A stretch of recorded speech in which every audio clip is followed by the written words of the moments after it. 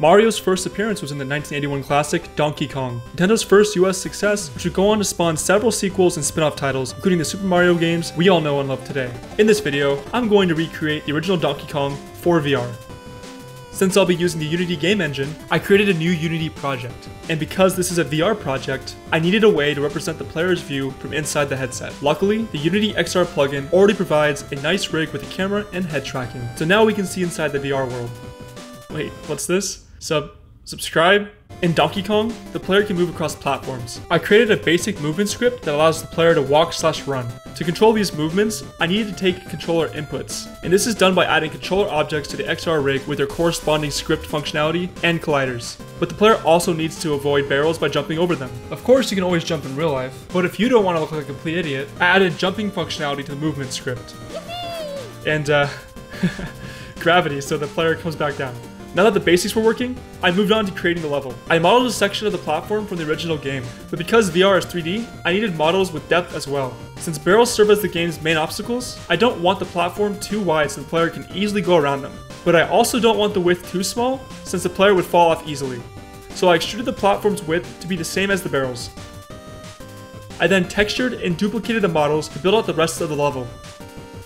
I recreated the 2D barrels and combined them into a 3D version. This is when I realized the barrels aren't actually circular. I took some artistic liberty and rounded the barrels so that they make more sense in 3D when they roll. Oh yeah, these things need to roll. All I needed to do was figure out how far the barrels translate and rotate with each time step. I wrote a barrel animation script that applies these transformations, and now they, um, uh, bear roll. In the original game, barrels make their way down in two ways, rolling off the platforms or rolling down the ladders. But something needs to tell the barrels which path to take. For pathfinding, I use a basic graph data structure. Nodes represent each section of the level, and the edges represent possible transitions from each node.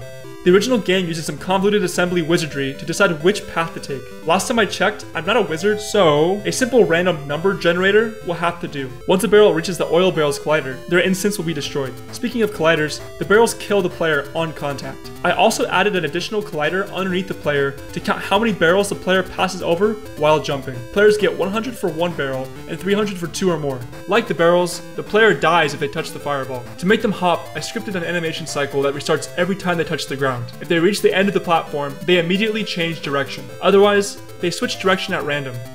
Another large part of the player's movement is climbing ladders. You're probably thinking, how are you supposed to climb when you don't even have hands? Luckily, Oculus provides these wonderful hand models with basic opening and closing animations. I'll just uh, borrow those real quick. Climbing was a bit more complicated than the other movements. The gist of these scripts is when the player moves their hand, their body moves in the negative vector. In other words, when I move my hand down, my body moves upwards and vice versa.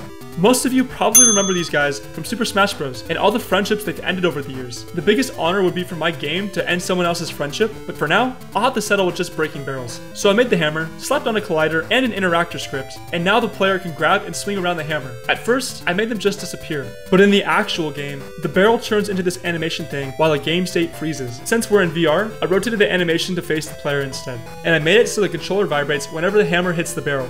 Donkey Kong was the most difficult to model due to his sheer size. I reused the front-facing head for the side poses to keep consistent in 3D. For the side poses, I just mirrored the same model.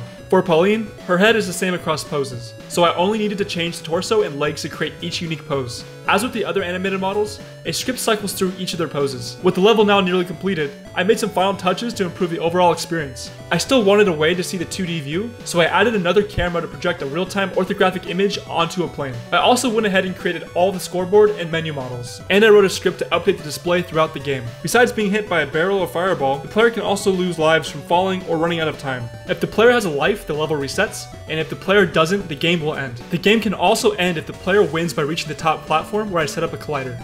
If the score is a new high score, the player is allowed to enter their initials. Otherwise, they are sent straight to the starting menu where they can start a new game.